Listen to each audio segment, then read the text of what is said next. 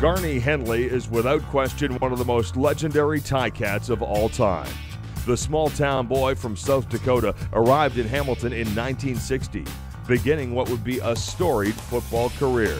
I knew absolutely nothing about Hamilton. I uh, I wasn't even sure where it was. I'd never been to Lake Ontario before or anything else like that. And uh, so when I came into Hamilton the first time, coming over the mountain, just looking at the lake out there, I said, wow, I'm not sure I'll ever find the stadium. But it was pretty easy actually after I got going down Main Street and so forth.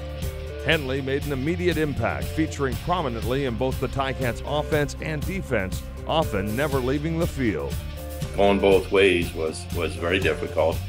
Uh, but I was younger and in good shape at that point as well, so so it was easy. And and I really preferred that, I guess, uh, simply because I did that in college.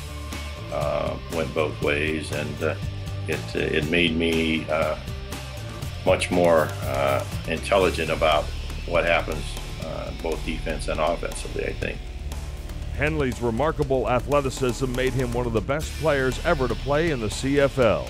He earned all star status as both a receiver and defensive back, had 56 career touchdowns and 59 interceptions, and was a six time nominee for the CFL's Most Outstanding Player Award. He was also an incredibly consistent player, playing in 216 games, the last 102 in a row. Seven of those games were Grey Cup championships. Hamilton 13, Saskatchewan 10.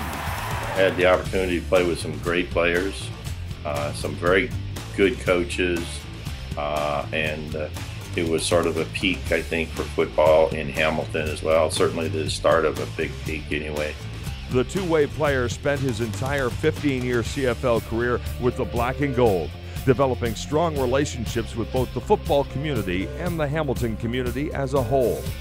I don't think you can not be shaped or somewhat anyway about uh, the team that you play for, particularly Hamilton, uh, because the people were so into uh, knowing all the players. You know, everywhere I went, uh, I was recognized, and, and that was one of the things that it was kind of like being in my little college town that I went, and also my little hometown, which was 350, 400 people.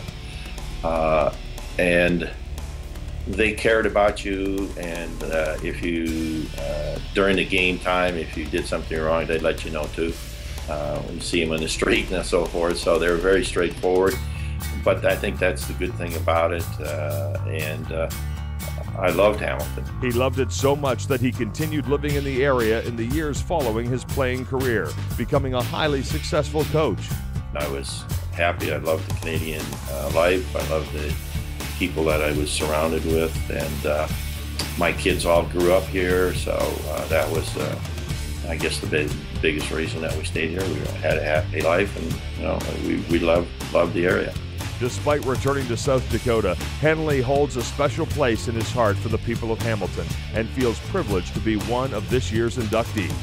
Obviously, it's, it's an honor, and uh, I, I, sometimes wonder how this happened. I loved Hamilton. Hamilton was uh, probably my second home, although uh, my first home was uh, much, much smaller and uh, I just uh, I think I was received extremely well.